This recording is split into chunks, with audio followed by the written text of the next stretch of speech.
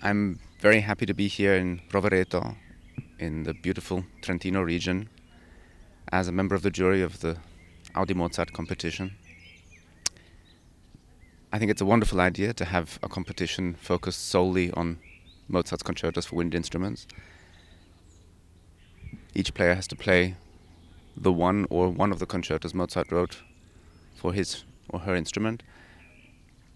And we're now past the semi-final stage. The finals are today and tomorrow.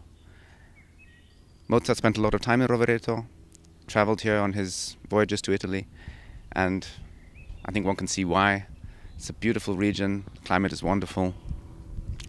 And for me personally, it's a wonderful place as well because I'm a, an avid amateur cyclist and there are lots of cycle paths here free of traffic, which is a dream for someone like me who loves to go out on his bicycle.